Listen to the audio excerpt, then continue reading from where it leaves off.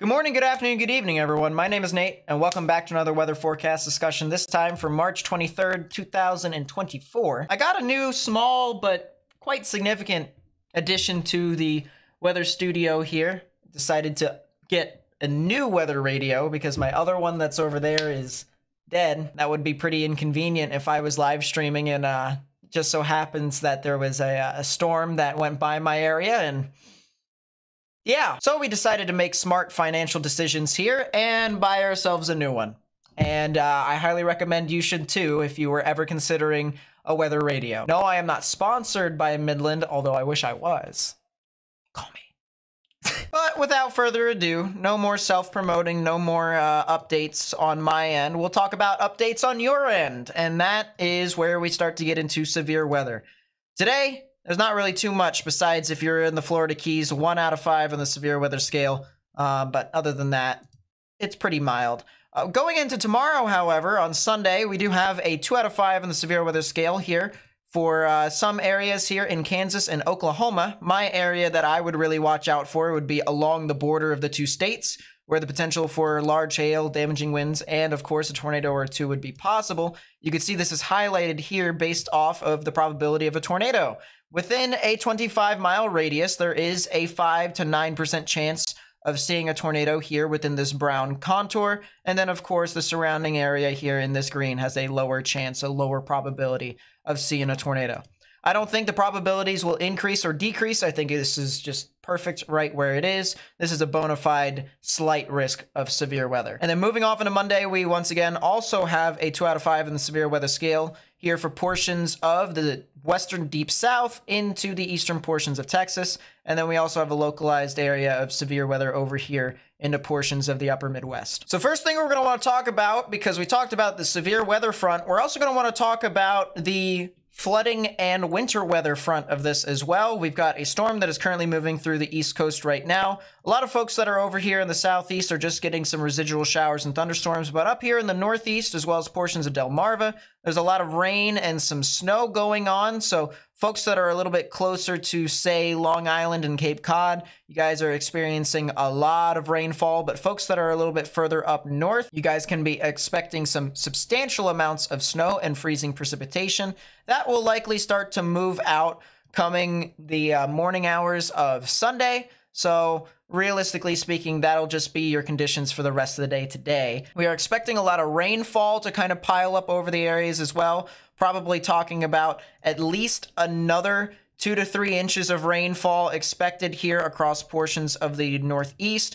Uh, there's already been, I'd say, about an inch of rainfall that has fallen across some of these areas down here into the mid Atlantic. So, this is really just additional rainfall that is going to fall on top of what has already been going on. And of course, with the additional snowfall that some folks may have already seen, we're also expected to see a good two to three inches of snowfall that is up north of I 90. Uh, well, not really north of I 90, but folks that may be north of I 90 here into portions of the Northeast. And then uh, maybe all the way down to Binghamton, additional maybe inch or two is possible down there as well. Uh, but folks that may be over here near New Brunswick, as well as portions of Maine, we could be talking about some areas that could see a foot to a foot and a half, maybe even two feet of snow possible as well. In addition to that, major icing is possible across portions of coastal Maine heading up into New Brunswick, as well as southern New Hampshire. So please watch out for that as the potential for once again some significant freezing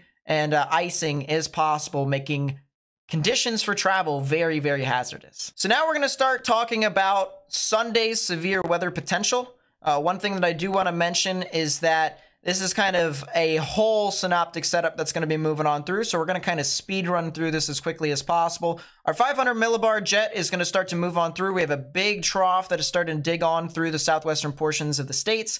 And we can start to see the trough start to weaken as we get into portions of the south central plains, you can see that as wind shear starts to decrease, it also starts to fan out in all sorts of different directions. This is called diffluence aloft, and this diffluence is associated with a lot of divergence, which basically creates a lot of good ventilation for showers and thunderstorms. This is also accompanied by a very strong upper level jet streak that is moving on through the area, which is kind of signifying the intensification of our low level, low pressure system. This will eventually continue to move this system off towards the north and east, where we could probably assume that the storm will start to occlude further and further, and then eventually weaken as it moves on through. And you can see that is exactly what happens with our 500 millibar wind shear. Our low pressure system starts to become a little bit more vertically aligned as it starts to move off into portions of the northern plains into the upper Midwest, and we could start to see our wind shear start to increase even a little bit further as we move off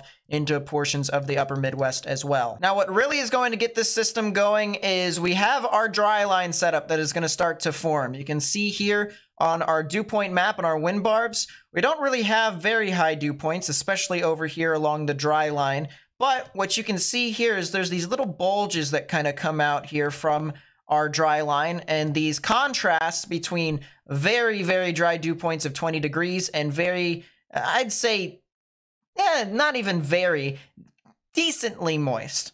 About 40 to 50 degree dew points here in the portions of Kansas and Oklahoma are really what's going to increase lower level convergence in some areas, which is what storms are likely going to be initiating off of. And especially here in the front part of these bulges and the northern parts of these bulges is where we're going to want to watch out for the potential of initiation. And as you can see, time goes along further and further into the evening, we start to see the dew points start to increase here along the surface, which is what we're going to watch. But as time moves along into the evening as well, notice how we start to lack those bulges, which means that areas of initiation could probably become less and less in quantity, which means as we move further along in time, there probably will be less and less chances for thunderstorms to start to form. So we have to consider that as a possibility. But the one thing that I want to mention is that along those areas of convergence and the dry line, Wherever those bulges will start to form, we will also start to see an increase of vertical wind shear because as convergence starts to increase, that wind and that air will naturally start to rise and it will start to kind of fill in the void for wherever that divergence aloft that we were talking about just a minute ago would be. And in this case, this would mean the chance for some strong thunderstorms to be possible across the area. But once again, because some of those bulges start to kind of die out, so too does that vertical wind shear aloft, which means stuff really won't be all too active once we get towards midnight. One thing that I do want to mention though is in the lower levels of the atmosphere, we're talking about from the surface to about three kilometers above ground level, we will start to see a localized area of some instability that will begin to develop. And this will basically be where these thunderstorms are going to try and take advantage of the atmosphere and maybe, of course, become severe. So something to really watch out for. The environment is primed for some form of severe weather. It just won't be a significant severe weather outbreak. It's going to be far from that. The wind shear, though, is significant. The instability and the moisture content that is in this environment is not. And so uh, that's kind of our one saving grace for right now. We do want to monitor, however, that come tomorrow, there could be the potential for things to uptrend or downtrend. So please pay attention to your local National Weather Service forecast offices for more information. Regardless of that fact, there could be some scattered convection out in front of the event here come Sunday morning into Sunday afternoon. And then once we get to about, I would say, four or five o'clock in the afternoon slash evening, you could start to see some of these showers and thunderstorms start to fire off over here into portions of Kansas and Oklahoma, maybe even some additional you know, formation of a thunderstorm or two over here in central Oklahoma. Those storms over here in Kansas, uh, at least here in the beginning into the medium stages of this event. We're talking about six, seven, eight o'clock, uh, maybe even around five o'clock as well, is the best opportunity for tornadoes to form. And then after that, it'll start to get pretty scarce even after into that environment. Further down south, we're also going to want to talk about some thunderstorms that are going to start to form into a QLCS, a big squall line that's going to really start to kind of fire off and move further and further off to the east. And that'll be our catalyst for really the severe for really the severe weather event on Monday. You can see a big squall line starts to form on through and realistically speaking, there's not really too much with this event. Really a lot of strong damaging wind gusts and maybe some spotty hail. Could be the chance for a spin up or two, but honestly not really too too much that is going to be impacted with this environment. You can kind of tell that is the case because though you have a big kind of contrast between some uh, very moist dew points of say mid to lower 60s and then You have uh, mid to lower 50s back behind it. This isn't exactly uh, that much of a dry line. It's more of a boundary that's starting to move on through because of the QLCS, and then you have a lot of cold pooling back in behind it. So uh, realistically speaking, a lot of this is a lot of wind. If you get any storms that can form out in front of it, maybe the potential for uh, a tornado or two and some spotty hail is possible, but a lot of wind is really going to be moving on through this environment. And to finish up our video, believe it or not, we also have the opportunity for folks to see an aurora. And this is our forecast. Well, not my forecast. This is the National Weather Service, NOAA Space Weather Prediction Center's forecast for where folks could potentially see an aurora. So if you're in the red areas, obviously that is the highest chance of you seeing an aurora. Green is the lowest chance. And then this red line right here, this is the furthest south you could potentially see as of right now. Now, personally, as well as uh, some other people that I have talked to, this could probably be expanded a bit further south. So for the folks that could potentially see it, you could see an aurora tomorrow night into Monday morning. Now, the real question is who could potentially see this aurora? So we'll go on through here. I first want to mention that uh, folks that are over here in the northern plains into the upper Midwest got a lot of snow over there in your area, which means there's probably not going to be a whole lot of good visibility. Uh, folks that are over in this dark gray, you guys see this dark gray right here. This is where cloud cover is going to be really non-existent for the most part. There's not really going to be a whole lot of clouds in the sky. So if we remember with our forecast, the red line extended through about three quarters of the way up from the south. So that's right about here. Maybe it can go a little bit further south. Uh, maybe it could go a little bit further north.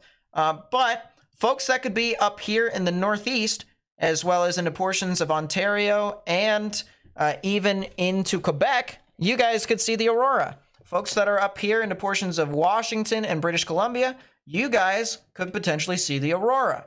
But if you're from the Great Lakes all the way up in the northern plains, as well as portions of the Rockies, all the way down into the southern plains and uh, even into the deep south, you're going to have a lot of cloud cover in general. So it's not really going to be that very likely that you see much of anything. So if you're over here in the portions of the Northeast, maybe the Eastern Ohio River Valley, as well as areas over here in the Cascades in British Columbia, there's a good chance you could see an aurora. So if you want to go out, feel free to go out. Be uh, pretty interesting. Send me a picture or two if uh, I'm not chasing. but once again, guys, thank you guys so much for watching. If you did enjoy the video, please be sure to leave a like, subscribe if you're new, turn on notifications, share this with friends and family on social media. Also, follow me on social media. Link will be in the description down below. We could have a live stream tomorrow. We'll see how things kind of function, but if they don't function that way, if we don't live stream, we probably will have a video that'll be uploaded sometime on Monday if we don't live stream then as well. So thank you guys so much for watching once again. I will catch you guys next time we uh, post something on this channel. So see y'all then. Peace.